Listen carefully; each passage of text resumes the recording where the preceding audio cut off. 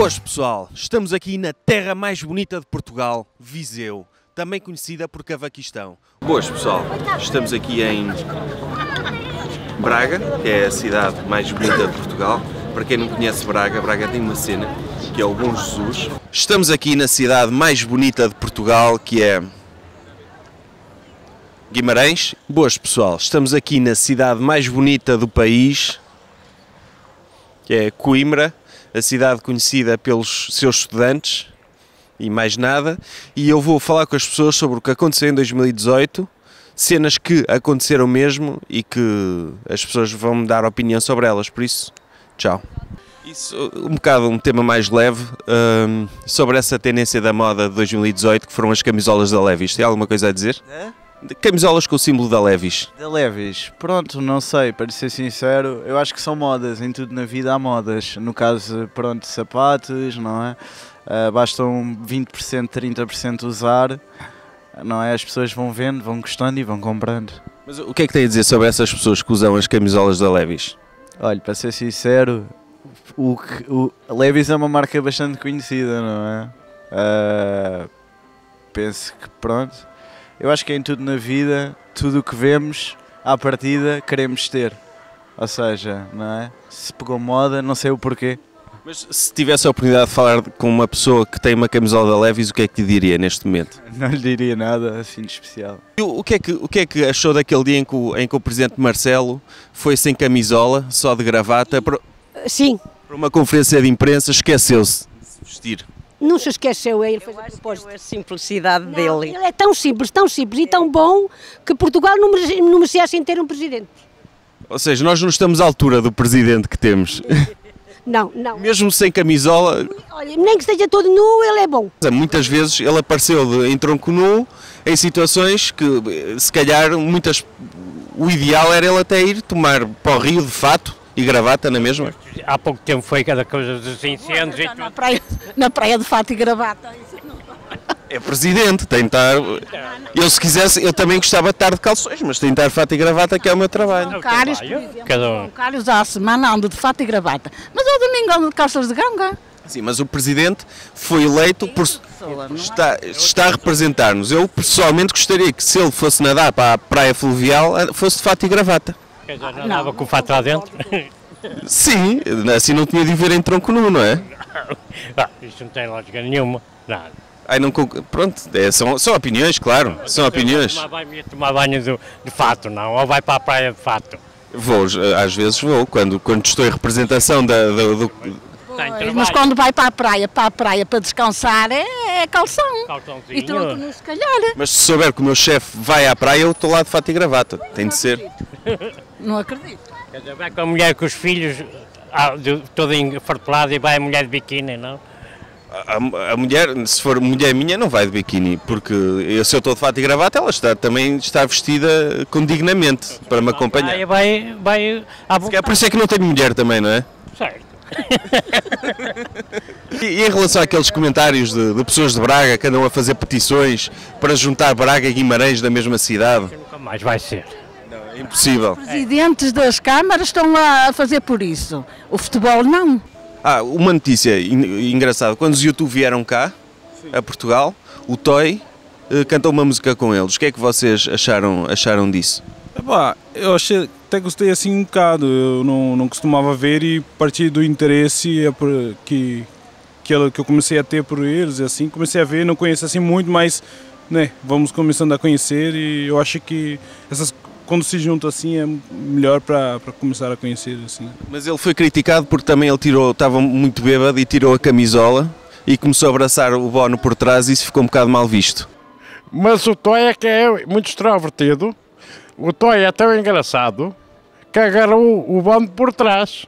Sim, e trincou-lhe a orelha. O Bono depois até mostrou a marca e disse: Este maluco veio-me aqui trincar a orelha. Se eu soubesse, nem sequer vinha da Irlanda para isto. Mas escuta lá, ele foi para o hospital, chamaram ele, Não, foi só uma marcazinha de. então ficou com marcazinha. E ficou muito garantido, registado no modo português, como é que é o cozido à portuguesa. Pronto, comeu a orelha do, do irlandês. Eh, sobre o Harry Potter, vocês acompanharam as novidades Sim, mais ou menos. A autora ter vindo dizer que ela afinal era homossexual, foi toda a gente ficou surpreendida. Ai, não, não acho isso mal nenhum. Também não acho mal nenhum. Isso é normal. Sim, mas as pessoas não sabiam que ele era e de repente ficaram a saber. Foi um choque, se calhar, para as pessoas, porque não, não estavam a vê-lo assim dessa, dessa maneira. Não acho que tenha mal nenhum, porque qualquer pessoa é livre. Sim. E não tem mal nenhum. Sim, mas não, não há nada nos livros que indique que ele é homossexual, não é? Não, não.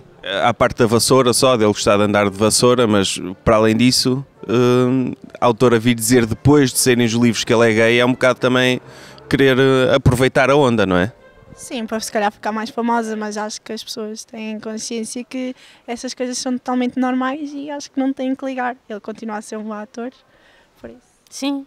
O que é que acha daquela eh, ideia que deu muita polémica de um grupo de feministas que decidiu propor que os homens começassem a tomar pílula? Não acho piada nenhuma. Não era capaz de tomar pílula? Por uma questão de igualdade. A, a mulher eh, tem que ir tomar, provavelmente tem que estar aqui a tomar para evitar não é, certas determinadas coisas, não é? Agora o homem não precisa tomar a pílula. Tem, tem outros métodos para evitar coisas, não é? Tem outros métodos. Não, é cada coisa no seu lugar. É? Os homens a tomar por alma de que é? Por solidariedade, já que as mulheres tomam, os homens também. Os homens tomam outra coisa quando uh, têm a necessidade e as mulheres já não tomam isso, sei lá. Isso, Em relação àquela ideia das, de um grupo de feministas das capazes que querem obrigar as equipas de futebol a jogarem com pelo menos cinco jogadoras mulheres. Olha, a única coisa que eu tenho a dizer, se as coisas forem feitas dentro da normalidade possível, há liberdade para tudo. Agora também há, há certos, há certas coisas que prefiro não me pronunciar. É a liberdade de cada cidadão. É o caso do, do Cristiano Ronaldo, Ah, sim. Pronto. que, que foi acusado de ter sido culpado pela derrota de Portugal no Mundial. Pois, Por exemplo, o escritor português José Rodrigues dos Santos ficou em segundo lugar no Prémio Nobel da Literatura. O que é que eh, sentiu quando soube disso? Eh, eh, Nesse ponto de vista, não há dúvida nenhuma que eu conheço bem a pessoa e, e, de facto ele é, é muito, tem muitos conhecimentos na parte da literatura e tudo mais e de- não há dúvida nenhuma que eh, ficou em segundo como podia ter ficado em primeiro. É, é uma pessoa com muita competência e que, com muito valor, nesse ponto de vista. Acho que merecia o primeiro, não? Talvez para o ano, não é? Eu por acaso. Eu não conheço, não posso dizer. E, e em relação ao mamute que nasceu no Jardim Zoológico de Lisboa? O primeiro mamute que nasceu aqui em Portugal? eu não soube. Eu não... Não? Não? Mas não- agora que sabem, estão interessados em ir lá ver? É pequenino ainda, mas quando ele crescer. Com certeza, com certeza. Sim, sim, gostaria de lá ver. Eu vi um artista que morreu, como dei um músico que morreu agora, o nosso... Bruce Springsteen. Não, o chute de pontapés, o... Ah, o, o Tim.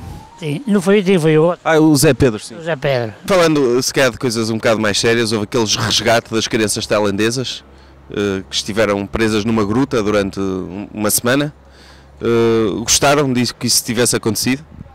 Eu, eu tenho orgulho só pelo facto da TVI ter estado lá só para dizer que esteve e para passar um mês tipo com a Judite Souza só à porta do evento a falar da vida. Foi muito bonito.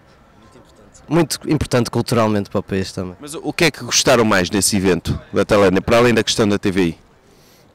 De um modo sério, o salvamento. Ah, a parte de elas estarem fechadas foi chata, não é? Muito.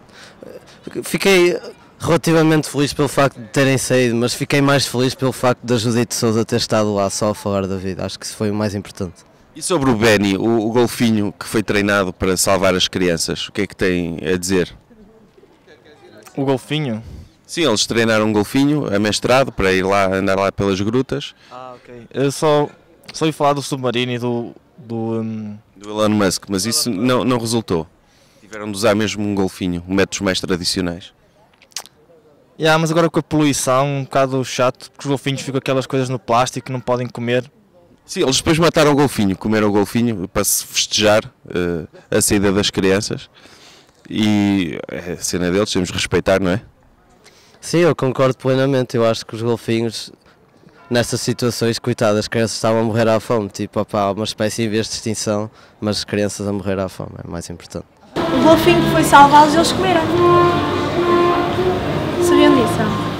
Não sabia, não sabia.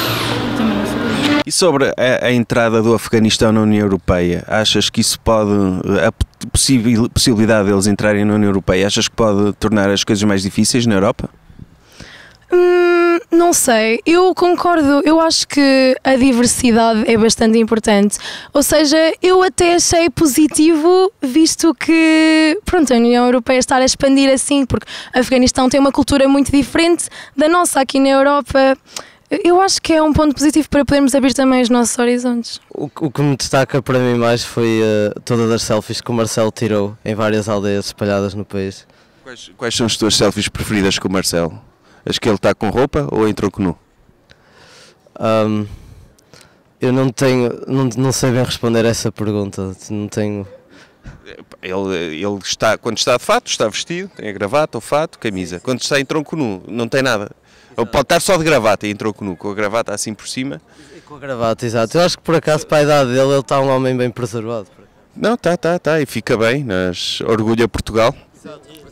Representa o nosso país como velhotes bem preservados e bonitos. que não- Agora, aquele, aquele é muito. Ainda agora nas compras, deu 222 para, para a fome. para aquele... E, e ele comer com, com os calochares, como é que se diz? Os... Sem abrigo. Ah, e servi-los. Mas houve um, um sem-abrigo que ficou triste porque ele comeu-lhe a comida toda. É mentira. Previsões para o ano que passou com o jovem conservador de direita. Bilhetes em Doutora Ticketline, Doutora Bilheteira Online e nos doutores locais habituais.